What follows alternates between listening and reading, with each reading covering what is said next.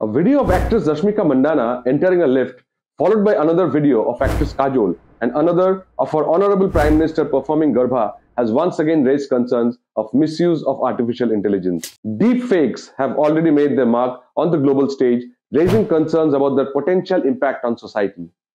Here are a few examples of recent news stories that highlight the pervasiveness and growing sophistication of deepfake technology. And foremost in all of our minds has been the loss and the grief felt by the people of Orlando.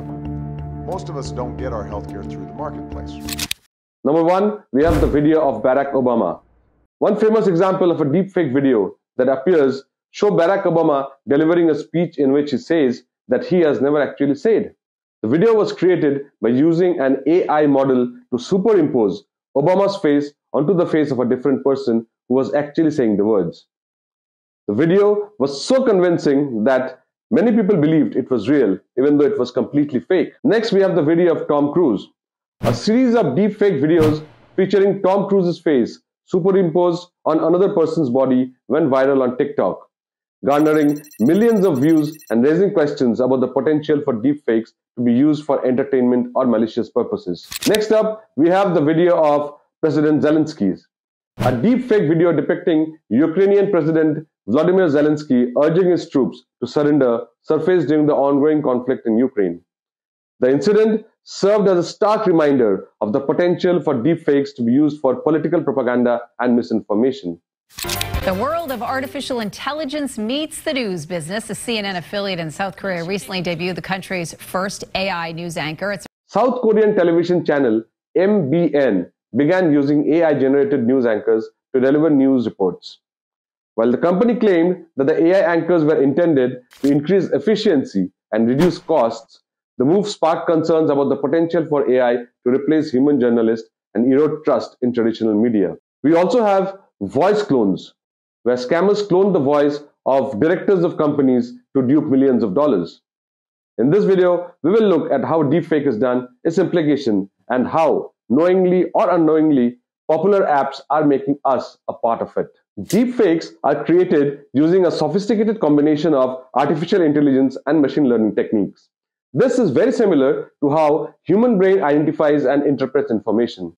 For example, we see a cat and we use the word cat. How do we know that a given object is a cat? Well, we have seen many cats, thus we identify them. Our brain has created a connection between the image and the encoded word cat. Let's turn this process around. Close your eyes and picture a cat. Can you? Sure you can, but how? By using the knowledge stored in your brain. Computers do this the same way.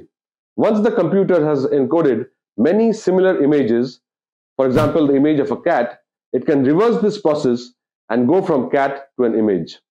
This process is called decoding. Deepfake creation works exactly like our brain.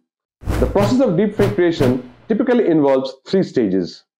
Number one, data collection. A large data set of images, audio, or video of the target individual is gathered. This data provides the foundation for the AI model to learn the person's unique facial features, voice patterns, and mannerisms.